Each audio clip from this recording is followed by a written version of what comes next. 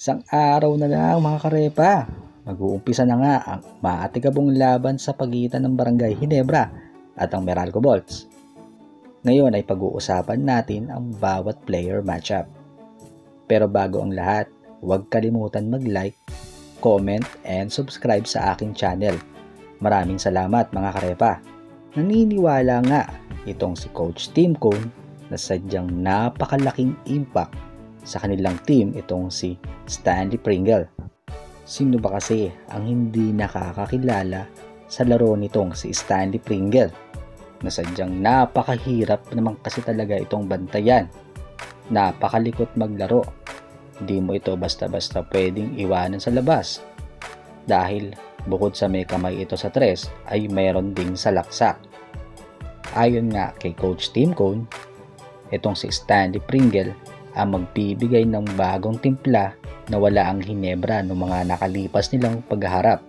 First time nga nitong si Stanley Pringle na makasama sa isang championship series na sigurado ko magpapakitang gilas itong mamang ito.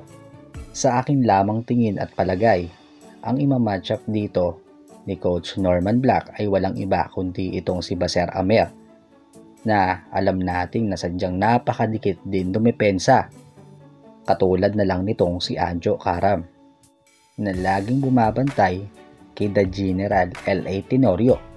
Ang sarap nga nilang panoorin dalawa kasi sadyang napakadikit.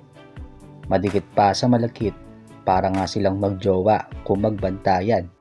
May times nga na napikon itong si L.A. Tenorio dahil na lang sa sobrang dikit at physical na bantay nitong si Anjo Karam.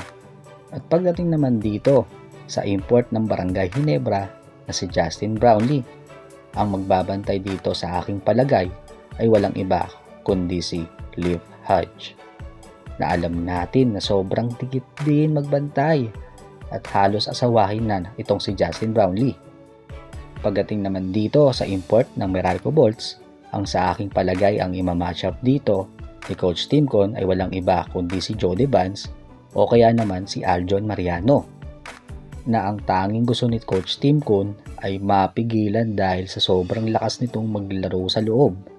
Ayon naman kay Coach Norman Black, sadyang napakalaking tulong ng pagdating ng bago nilang big man na si Raymond Almasan na ang sa tingin niyang naging kulang sa mga nakaraan nilang laban kontra Barangay Hinebra.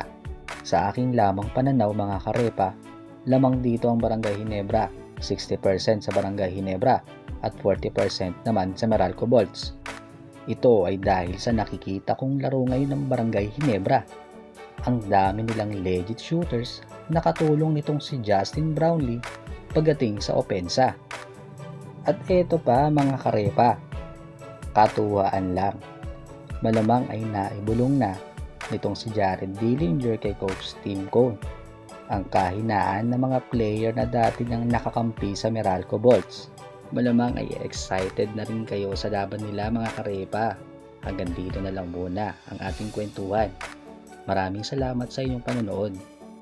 Paki-like na rin and subscribe sa aking channel. Maraming salamat po.